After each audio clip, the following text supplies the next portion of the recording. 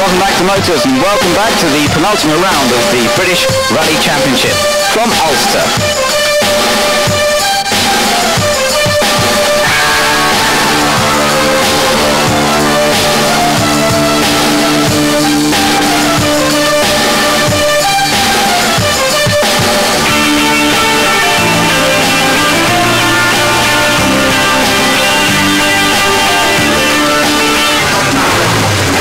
Gwyndaf Evans leaving the ramp as the Ulster Rally getting underway. 83 cars entered. Gwyndaf Evans, one of the former winners, entered on the event. He won it back in 1989. 17 stages, a total tarmac event. We go on board with Evans and Howard Davies in the RS2000.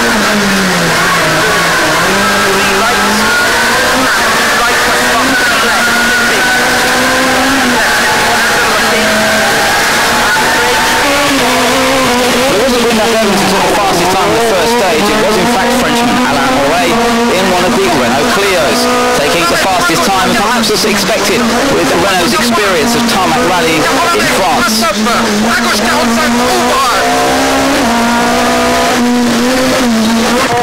Jack Boyer reading the pace notes, but all changed for the second special stage. A lot of the drivers turning up on slicks, only to find the weather conditions absolutely appalling. Lots of rain, and there were several cars about to go off in a big way.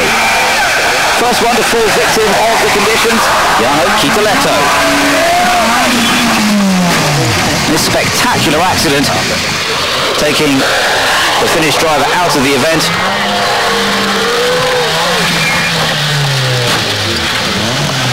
even though he was actually able to drive it through to the end of the stage. Both Kytölehto and his co-driver unhurt, thankfully, in the incident, but uh, retiring from the Ulster Rally on just the second special.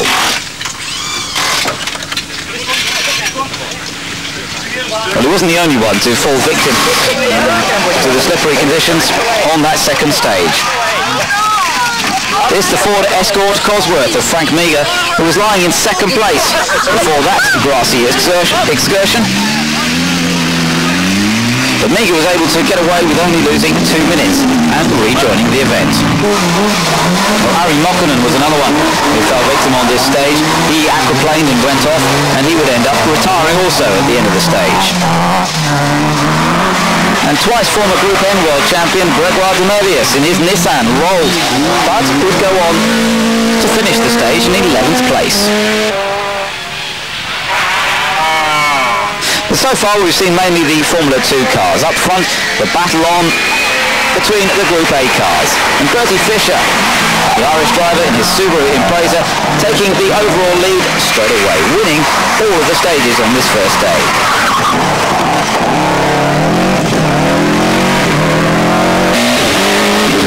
Main opposition coming from Stephen Finlay in the Malcolm Wilson prepared Escort Cosworth. Finlay finished second to Malcolm Wilson himself on this rally last year, looking to try and beat Fisher this time.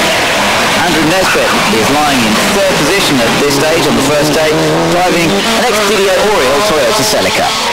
But of course, in terms of the actual British Championship, it's the Formula 2 cars that everybody is watching. The front-wheel drive, two-wheel drive, hot hatches if you like, and Gwyndaf Evans in the RS2000 taking the lead of the Formula 2 class on the penultimate stage. On board with David Llewellin, lying in second place. Ian Grindrod calling the notes.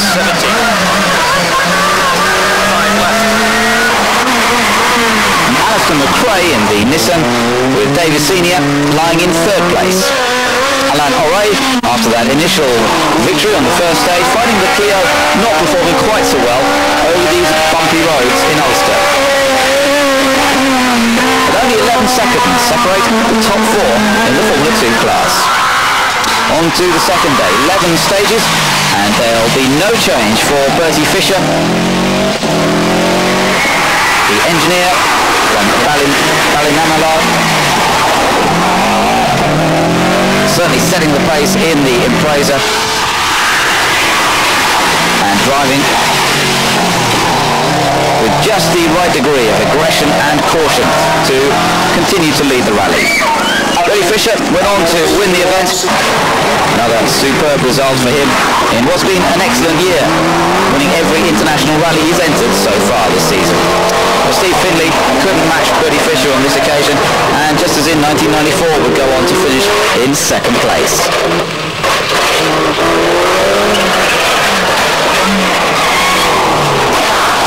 Third place going to Liam O'Callaghan and James O'Brien in their Toyota Celica.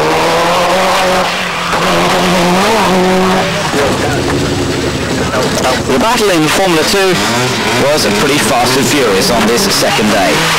And it was Alister McRae who really set the pace in the Formula 2 category, even managing to match one of Bertie Fisher's times on one of the special stages.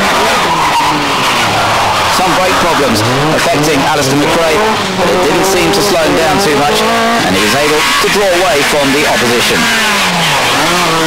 Gwyndaf Evans trying everything to keep up with McRae. And in the early part of the day, only a little bit behind.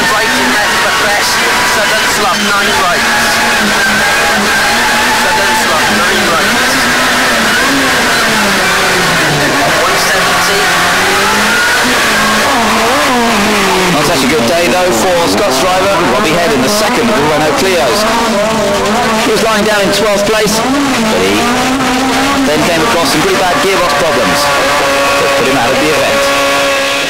It's jammed in gear, in first gear, but now when we came out of the stage, took it out of gear and it won't go into any gears now, so we did the last, not that whole stage in first gear and with the previous stage, the whole of it in third gear, so uh, we've dropped like 10 minutes or something.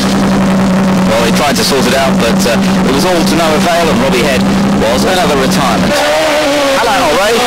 Teammate, made five fastest times on the second day and will go on to finish seventh overall. Third in the Formula 2 category, but losing the championship lead.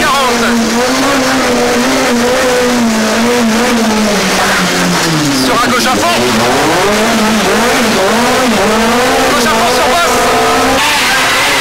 Evans deciding in the end that uh, Alister McRae was charging just a little too hard deciding to settle for second place in the Formula 2 category. Left sur the jump So flat right long crest 15 So left sur the jump flat right long crest 15 Six front But Alister McRae putting in a performance that perhaps will pass him on to taking the British Championship this year. Very impressive performance all round and McRae finishing in fourth place overall and winning Formula 2. In the championship it means that McRae now has the lead with 78 points, Oreille's on 72 and De Mevius on 63. And McRae and De Mevius will be on the Thousand Lakes Rally this week.